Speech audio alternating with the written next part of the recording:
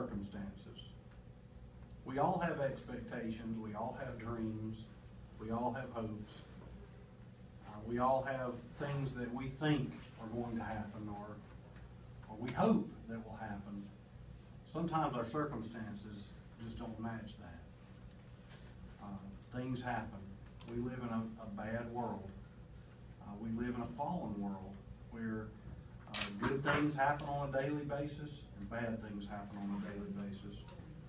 You know, I to come to the realization uh, that Ron Dunn says in his book, uh, when